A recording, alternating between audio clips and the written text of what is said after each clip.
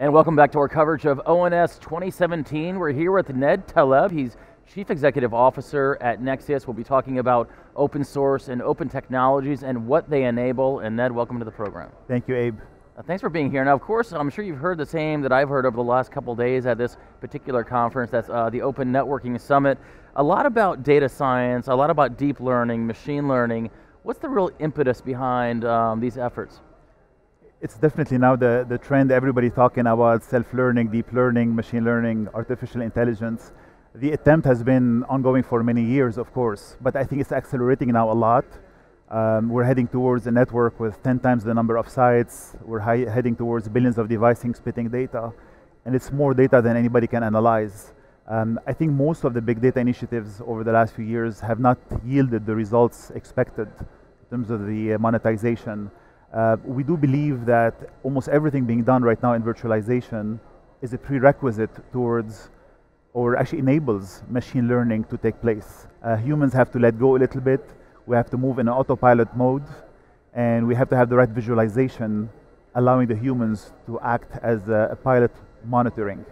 Tell me more about sort of where we are maybe on the cycle of allowing automation to automate and um, maybe a more of a hands-off approach, letting the network do its job? Sort of, are we uh, closer to the start line of that or the finish line of automation? We're certainly uh, at the start. I do say, I do want to say that the start is not just right now. You know, we've seen forms of machine learning for the last 10 years. Um, but I do feel there's now a few attempts by certain uh, operators around the world to have uh, human-less, um, you know, analysis, uh, customer care, optimization. But they're certainly at the start. Uh, I do believe the work required to get there uh, is virtualization as a first step, for example, uh, and also probably a lot of the IoT deployment. Um, so there's more things that have to happen before we get the true ROI from machine learning.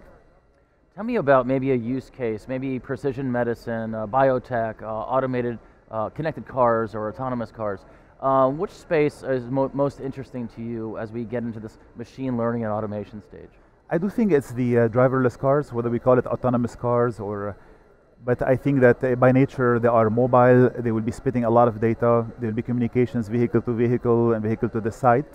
Uh, there's a lot of question marks as to whether the car does need to talk to the network and whether the investments into a low latency network will be required. But I do believe we're heading into many things that are unknown, despite what everybody says. Uh, and I do believe this would be a first very important use case of uh, uh, artificial intelligence.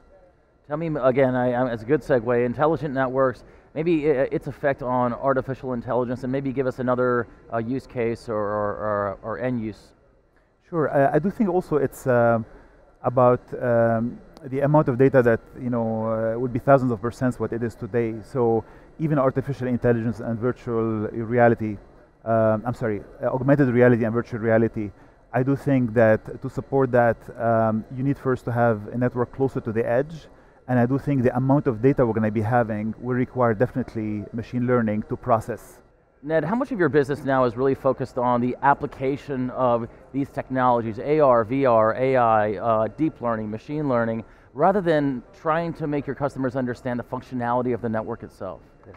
It's increasingly um, towards the applications. So uh, most of the operators, the only growth right now is in enterprises. It is in the applications of driverless cars, AI, um, uh, AR, VR. It is also in telemedicine. So um, I think no discussion of technology can be taken as a siloed from the applications. It is also right now with IoT, the economics are not there yet. So the technology has to support um, you know, much lower cost per connection and has to uh, have different way of thinking about sessions, opening sessions with the devices, and also how to process the amount of analytics it will generate. So no discussions that technology can happen anymore in siloed or isolated from the applications. Now, of course, uh, the network virtualization space is getting a bit crowded. You have carriers, enterprise players, now you have application developers uh, that are coming into, into the space as well. Nexius is positioned uh, in, in, a unique space right now to really maybe uh, mitigate all these areas. Can you kind of describe that to your positioning in the, in the industry? Sure, uh, I believe uh, virtualization is very important to reduce CapEx maybe, to reduce OpEx absolutely. So I believe that uh, virtualization is not the end goal. I do think it's a very important requirement to make the network more computable and to allow things like artificial intelligence to uh, take place. Um, so uh, I think today there's a lot of dependency on closed box proprietary technologies, and I do think that having a vendor neutral approach uh, towards virtualization is important. Some operators are at 50% network functions virtualized, others are just starting. I do think it's important to realize that this is a very important prerequisite before AI. Of course, interoperability, especially uh, in the cloud or in cloud technologies, is integral. Um, tell us about the importance of interoperability, but also if you could tie it back to where we are now, we're at the Open Networking Summit and the open source community. Sure.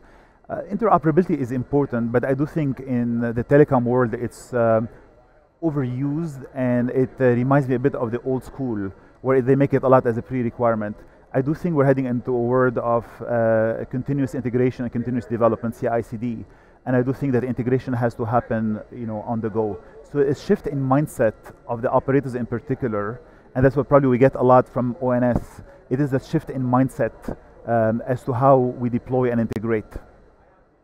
Now, of course, there's some technologies that we should be looking forward to, uh, maybe even this time next year.